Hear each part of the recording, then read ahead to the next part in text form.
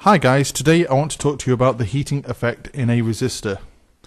And this is a message from Lily Mason. Hi, I watch all your videos and they're great. Oh, thank you very much.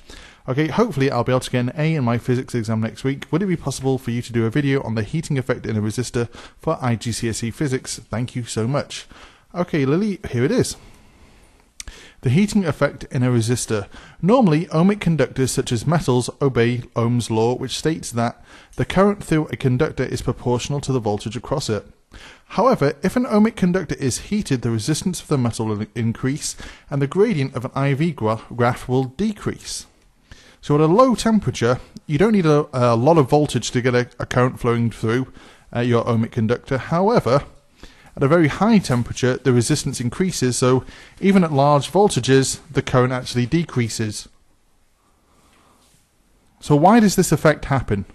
Well, the greater the temperature, the greater the atoms uh, vibrate within the conductor, and they're more likely to bump into an electron as it passes by. Okay, hope that was useful. Don't forget to like, comment, and subscribe. Bye for now.